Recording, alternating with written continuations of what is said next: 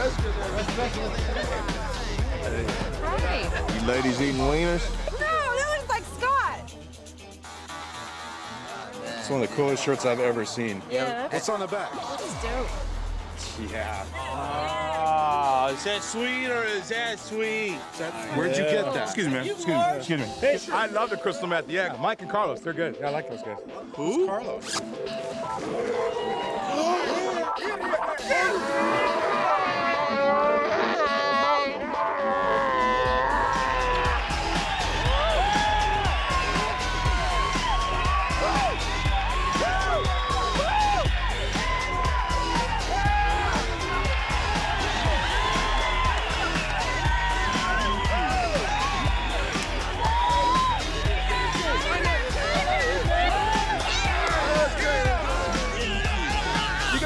place to go, like home or?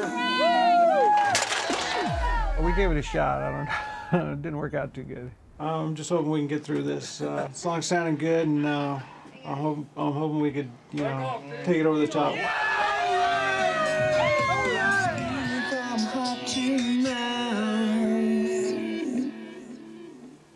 All right. Yeah, that's that's one. That's one. That's pretty much done. I think. Man, play Busy Child. Yeah. Yeah. The sophomore jinx. There's bands that have success in their first album and then they have a second album and next thing you know they're on Where Are They Now? And only up until just real recently, when we're actually getting close to turning it in, have we thought about it. I mean, we know the album's better. We think it'll do better. We think uh, everything about it is better. We had to go in and do the same thing we did the first time, make the album that we wanted to make and take the time that we needed to take to, to accomplish a good final product, which was the, you know a second album from a band called Crystal Method. Man, bro, check, come and check this mix out. We've been so focused on this record. I mean, cutting down on the partying, re- real healthy living, and just just focus. I think I got the Amaretto and Kahlua just perfect on this one. I think this mix right here is the best Yeah. uh, best mix of the night. Excellent mix. Oh shit, my fingers on. Oh shit. We were roommates for like seven years. Very similar, which in many ways we're very you know stubborn. Um, we're very opinionated. We're very hard-headed. What do you think? Scott and I have actually been working together more than 10 years now. It's like any relationship, you got to work at it, and uh, there's ups and downs. The disagreement turns into an argument, turns into a you know a fight, and then there's police are called, and the windows are you know they have to you know throw us out of the hotel or something like that. But I mean, for the most part, it's great. the things working themselves out, and I think the band is better for you know for that.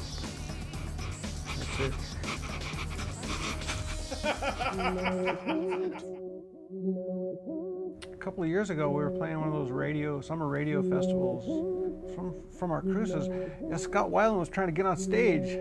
He was he had the song all ready to go.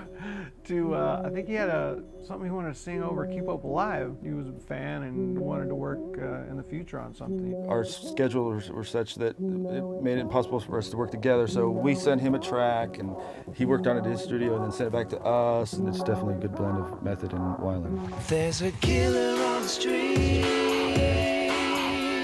She's moving from house to house. I've been working on the poses, you know, all week. But Scott, man, Scott's only, he's only he's only averaging like 10 or 15 poses a minute, man. He's got to get up to 60. You know, The kind of shot I was looking for was like more like energy. You know what I'm saying? Not just standing around. I'm, just, I'm talking about movement. You know, whatever. Tell me if I don't nail this one. Watch this. Can I get a? Can I get my beach ball?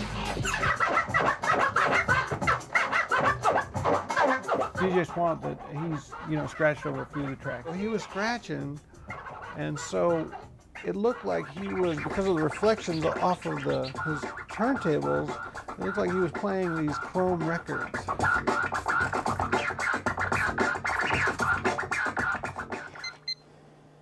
You know, also one great thing about meeting other artists when you're touring and when you're working on records is now you know, if we if we've got questions about you know music business or working on the record, you know, we can we can call these people up and get opinions from people we really respect.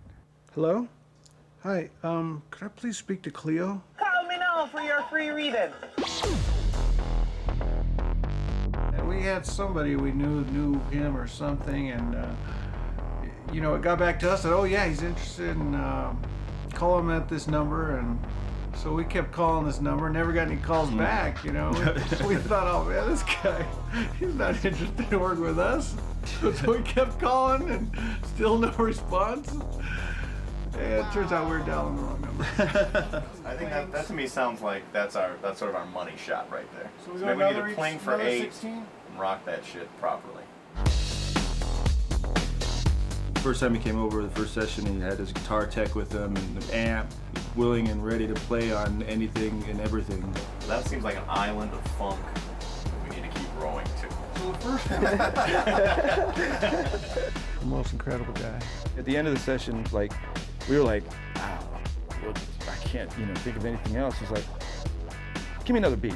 We're outside a break room where there seems to be a break in the action, and we're gonna find out what's going on, how these boys are gonna recover.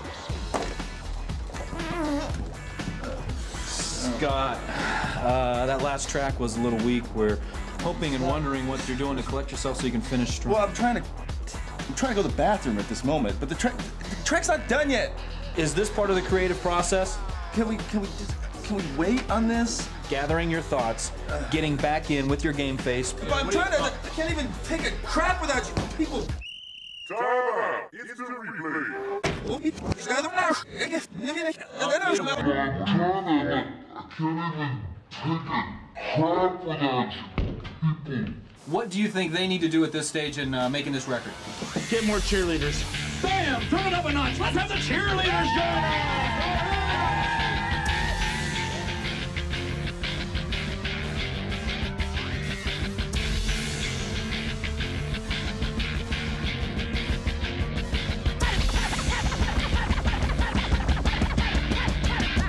I guess the cheerleaders aren't that bad. Uh, it needs to be like one of the vocal parts. We need to kind of like hear the melody of the squeak, squeak, squeaks going through it. That's uh, that's probably our strongest track with Tom Morello. He was um, sitting there warming up, and it was like Ken and I just looked at him and like, that, with that thing that you just did, what, what, what? He's like, no, what? I don't know. I just warming up. When we were rolling, we were rolling at that. Push record, and he just happened to do something very similar uh, a few moments later. He's like, okay, you guys, okay, I'm gonna come back tomorrow, and you guys just do what you do. You know, Scott remembered that the one like he had done, resampled that, and started working on it. He came in like the next day or whatever, and he was like, it was like, oh, we got something to play for you. And we played it, and he was like, I could work with that. Yo,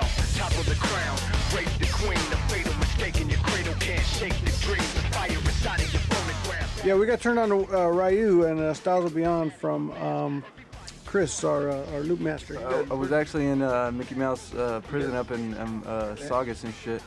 And um, I just got released. I was walking through Foot Locker and I, I saw him trying to buy some sandals. And, uh, and he snatched me up and took the shackles off my feet. I came in the studio and we did a couple tracks. That's that. Come on, keeping your speaking, knocking, jumping, banging, bumping, blazing hot, calling all freaks. Calling all freaks now. I think what I'm most proud of is that we made our second record. It is all about us and what we what we wanted to hear and what we wanted to, you know, sound like. We were only concerned with making a great record. We didn't worry about too much of anything else. Each song, there's a moment where you get chills and you go and you go, that one is done. I'm happy with it. Getting to the point where you go, the album is done. It's good, and we're happy. It's, it's like something that I'm just going through right now, and and it's I'm really really happy and excited about it. Yeah, it's like a little bit of techno, a little bit of everything spliced together. I think these guys are putting out the best album ever. Uh, I like the hot octane, hot energy stuff. It's real good. I like any of their shit.